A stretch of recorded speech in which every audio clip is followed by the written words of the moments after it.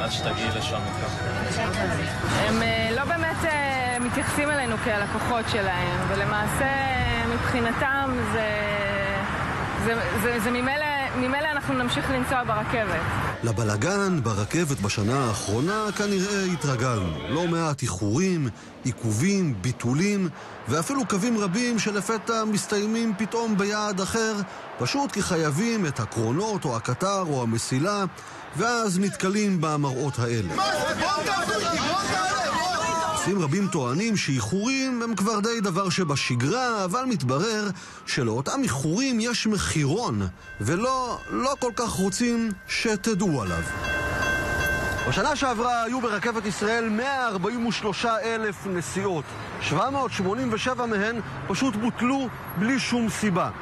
1,600 נסיעות שינו את כיוונן או את היעד בלי שום הודעה מוקדמת.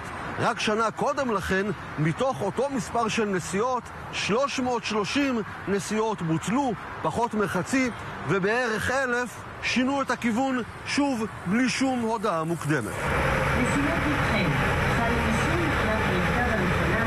עיכוב של חצי שעה ומעלה, נוסע זכאי לכרטיס נסיעה בכיוון אחד באותו מסלול שנסע בו באותו היום. כך למשל, אם נסעתם מתל אביב לחיפה, אתם אמורים לקבל כרטיס זהה.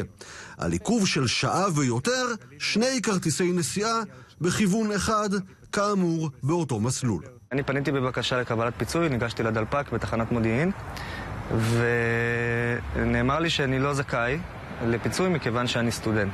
ביקשתי הסברים, אז הוא אמר שפשוט אה, זה הנוהל, ו...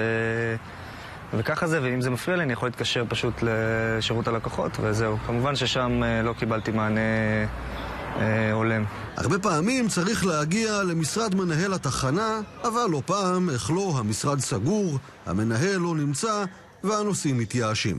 אני יכולה להגיד לך שרוב החברים שלי שנוסעים באופן קבוע כבר בכלל לא מבקשים. אז חצי שעה, 30 דקות, זה המספר ממנו מתחילים לפצות.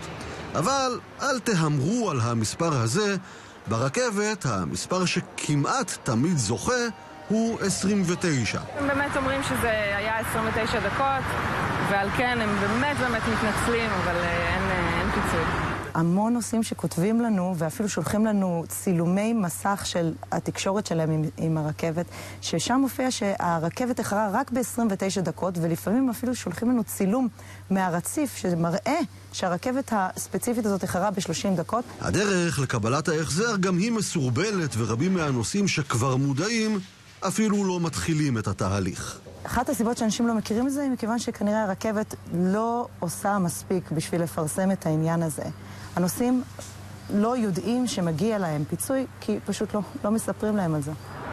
רק בתחנה הזאת עוברים מדי שעה עשרות אלפי בני אדם, עיכובים, איחורים, כל הזמן, אבל ברכבת לא ממש רוצים שתדעו שמגיע לכם פיצוי על חלק גדול מאוד מהנסיעות. אם גם אתם נוסעים ברכבת ולפתע הקטר נתקע, המסילה תפוסה או היעד באמת פתאום השתנה, אחרי שתתרכזו, לפחות אל תשכחו ללכת ולבקש את הפיצוי במשרדים של מנהל התחנה. מי יודע, אולי אם תבואו בהמוניכם, יהיו מי שישתדלו קצת יותר, שיהיו פחות איחורים בשטח. נסיעה טובה.